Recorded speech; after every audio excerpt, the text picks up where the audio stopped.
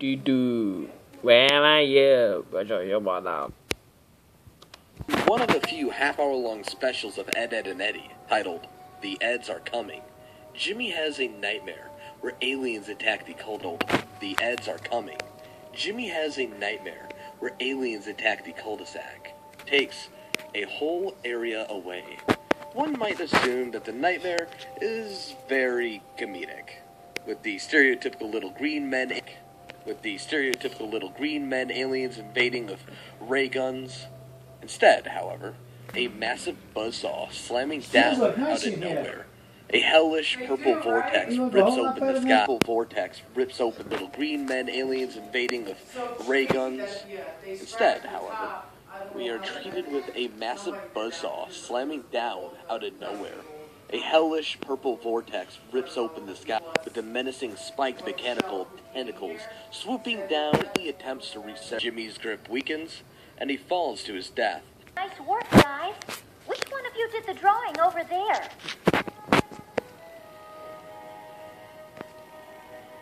Golly, it looks like a volcano.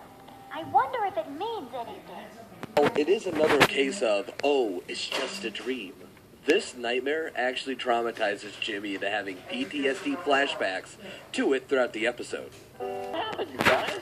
And where's the firewood?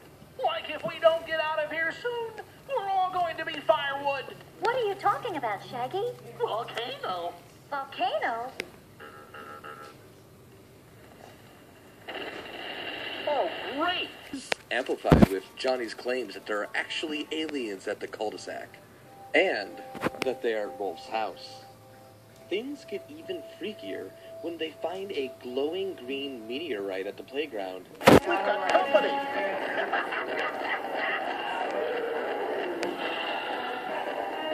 Start climbing.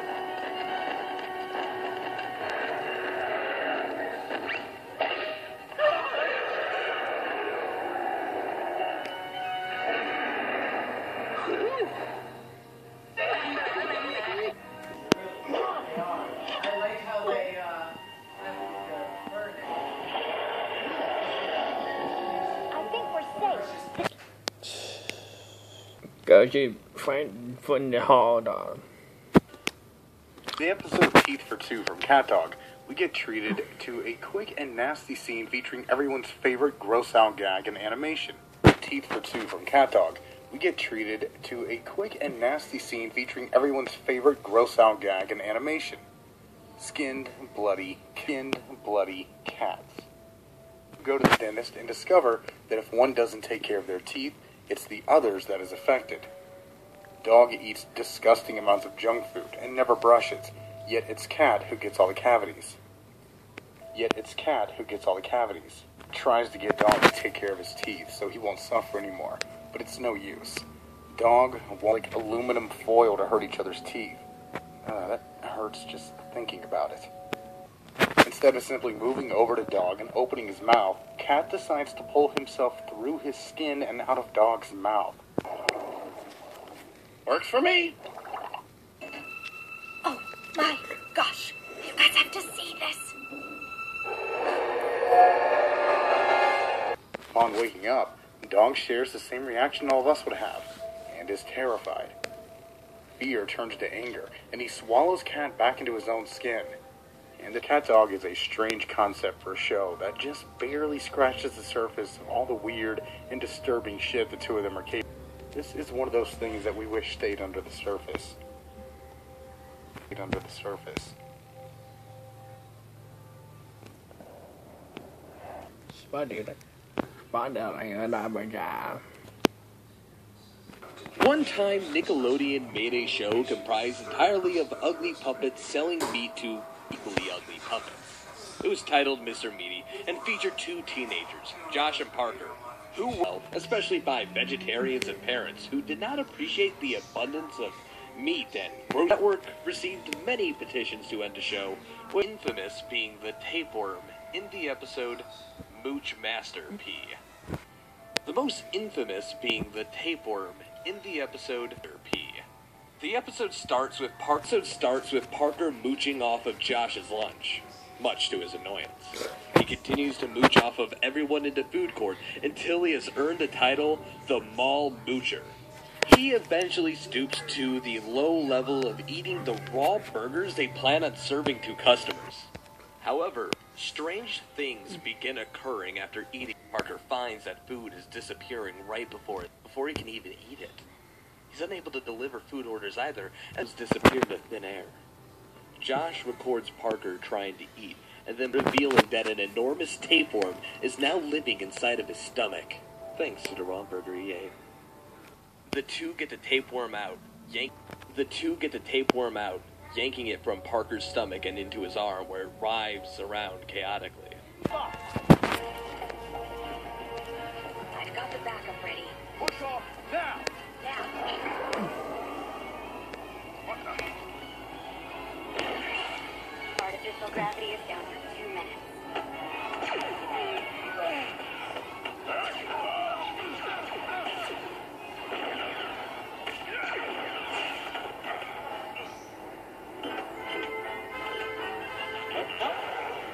Afterwards, an Australian man comes up and asks to buy it for a zoo.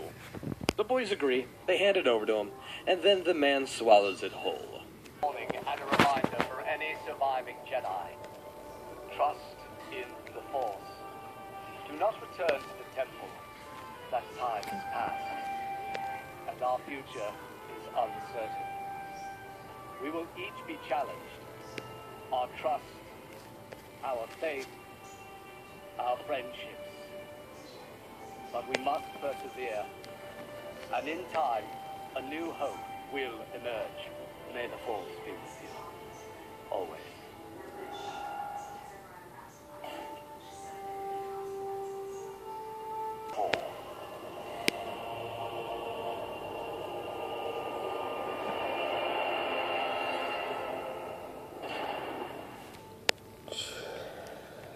Chiều thì tôi cầm đi khai cái semester đó nào. Despite being named Wrath of the Krampus, this is not a Christmas episode of Scooby Doo Mystery Incorporated. Talk about a missed opportunity. What it is, however, is a disturbing romp through an abandoned doll factory, required to be unnecessarily terrifying. Shaggy calls it uber creepy, which is an understatement given that the factory is full of ultra realistic dolls clashing with the show's simple and cartoony art style. With their until their heads start turning and they begin talking, because then they leave a terrifying and lasting impression. It's unclear why or how these dolls spoke, but given the existence of the supernatural in this series as opposed to the original, the dolls could actually be possessed. Stand your ground, you Nebulon cowards! Nebulons, this battle is lost. Powerpuff Girls. Sugar, spice, and everything nice. But Professor Utonium accidentally added an extra ingredient to the concoction Chemical X. with is not a good feeling at all. Such is the case in the episode Speed Demon of the Powerpuff Girls. The episode begins innocently enough, enough, with Buttercup waiting for the school day to be over so she can finally go on vacation with the other girls and the professor to the Bahamas. The school day ends with the three girls racing out as fast as they can. Buttercup challenges the which becomes incredibly intense. Any clues, curator? Well, I didn't want these brutish police trouncing around my beautiful museum. That's silly. Okay, girls, spread and search. No? No, no clues. Oh! Without success. Upon seeing him, he chases them away, calling them nothing but hallucinations. After running from the lab, the girls find that all of Townsville has become a desolate wasteland. They go, she yells at them to get out, stating that the mayor is hers. Next on their stop is the kindergarten, where they find an old and senile Miss Keene, who waves endlessly, repeating the same sentence over and over. The girls find out that they have been transported 50 years into the future, and the whole world went to heck. The girls take out their anger by beating the ever loving shit out of him, but it doesn't even phase him. he just gets back up like nothing happened. He then grows to a monstrous size, chanting, You did this, surrounding the girls.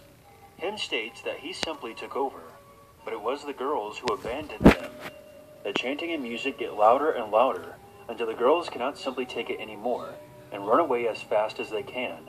Think, with everyone back to normal. The girls rush to tell the professor everything that happened. He then comes to the realization that Townsville cannot survive without the girls. Not the day is saved and the vacation is canceled.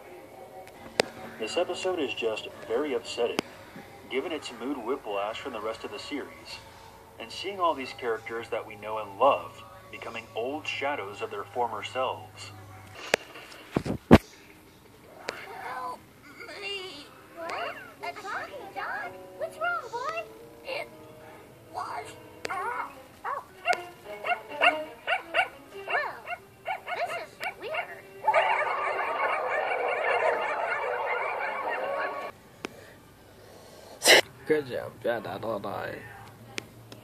15th episode of Batman Beyond, we are introduced to an original villain named Earthmover, entirely out of dirt. Throughout the episode, Terry's friend Jackie Wallace feels as if she's being constantly watched. Long may your lums reek, you can, all that stuff. Kiss and make friends. Yeah! Well, I'm all for peaceful relations.